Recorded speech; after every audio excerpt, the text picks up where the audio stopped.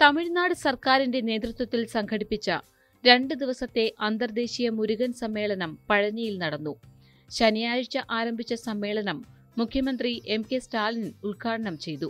തമിഴ്നാടിന്റെ സാംസ്കാരികവും ആത്മീയവുമായ തലങ്ങളിൽ മുരുകനുള്ള പ്രാധാന്യം ഊന്നിപ്പറഞ്ഞുകൊണ്ടാണ് എം കെ സ്റ്റാലിൻ സമ്മേളനം ഉദ്ഘാടനം ചെയ്തത്. ചെന്നൈയിൽ നിന്നും വീഡിയോ കോൺഫറൻസ് വഴിയാണ് അദ്ദേഹം ഉദ്ഘാടനം നിർവഹിച്ചത്. തമിഴ്നാട്ടിലെ ഡിണ്ടിഗൽ ജില്ലയിലെ ക്ഷേത്ര നഗരമായ പഴനിയിലാണ് അന്തർദേശീയ മുത്തമിഴ് മുരുകൻ സമ്മേളനം നടന്നത് തമിഴ്നാട്ടിൽ മാത്രമല്ല.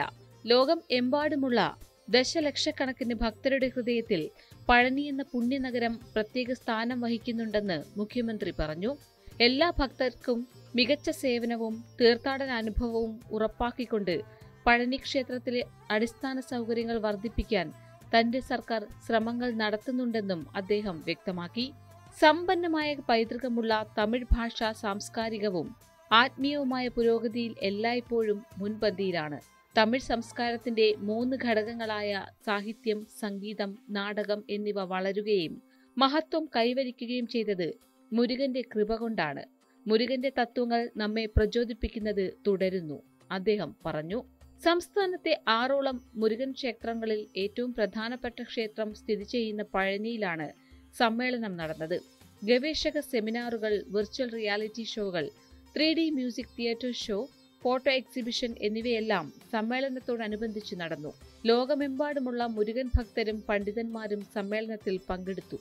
പ്രമുഖ മുരുക ഭക്തരായ നക്കീരൻ ഭോഗർ അരുണഗിരിനാഥൻ കുമാരഗുരുവരൻ പാമ്പൻ സ്വാമികൾ അണ്ണാമലൈ റെഡ്ഡിയാർ മുരുകമ്മയ്യാർ ബാലദേവരായർ തിരുമുരുക കിരുബാനന്ദ വാര്യർ തേനൂർ വരകവി ചൊക്കലിംഗനാർ കണ്ടപുരാണ കാച്ചിയപ്പാർ പഴിക്കുത്തൂർ ചിദംബരം സ്വാമികൾ വണ്ണച്ചരപ്പം ദണ്ഡപാണി സ്വാമികൾ മാമ്പല കവിച്ചിങ്ങ നാവലർ തുടങ്ങിയവരുടെ പേരിൽ പുരസ്കാരങ്ങൾ നൽകും. മുരുകനെ ഒരു ദ്രാവിഡ ദൈവമായാണ് കണക്കാക്കുന്നത്.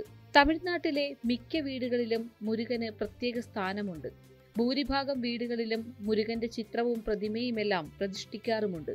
സമീപകാലത്ത് സംസ്ഥാനത്ത് വേരുറപ്പിക്കാൻ ശ്രമിക്കുന്ന ബി ജെ പിയുടെ തന്ത്രങ്ങളെ മറികടക്കുന്നതിനാണ് പൊതുവെ മതനിരപേക്ഷ തത്വം വച്ചുപുലർത്തുന്ന ഡി എം കെ പോലുള്ള പാർട്ടി ഇത്തരമൊരു സമ്മേളനം നടത്തുന്നതെന്ന് വിലയിരുത്തുന്നു. പാർട്ടി നേതാക്കളായ എ രാജ ഉദയനിധി സ്റ്റാലിൻ തുടങ്ങിയവർ സനാതന ധർമ്മത്തെക്കുറിച്ച് നടത്തിയ പരാമർശങ്ങൾ വലിയ വിവാദം സൃഷ്ടിച്ചിരുന്നു. മുഖ്യമന്ത്രി എം കെ സ്റ്റാലിന്റെ മകനാണ് ഉദയനിധി സ്റ്റാലിൻ. സമ്മേളനം സംഘടിപ്പിച്ച ഡി എം കെയുടെ നീക്കത്തിനെതിരെ ബി ജെ പി രംഗത്തെത്തി. എന്തുകൊണ്ടാണ് സ്റ്റാലിൻ നേരിട്ട് സമ്മേളനത്തിൽ പങ്കെടുക്കാത്തതെന്ന് മുൻ സംസ്ഥാന ബി ജെ പി അധ്യക്ഷ തമിഴ്സൈ സൗന്ദരരാജൻ ചോദിച്ചു. ഇത്തരമൊരു സമ്മേളനം സംഘടിപ്പിച്ചതിന് പിന്നിലെ ഉദ്ദേശത്തെ ചോദ്യം ചെയ്ത അവർ സ്റ്റാലിനും ഉദയനിധിയും പരിപാടിയിൽ പങ്കെടുക്കാതിരുന്നത് സൂചിപ്പിക്കുന്നത് ഡി എം കെ സർക്കാർ വെറുതെ ഒരു താൽപര്യത്തിന് പുറത്ത് സംഘടിപ്പിച്ച പരിപാടിയാണിതെന്നാണ് അവർ പറയുന്നത്.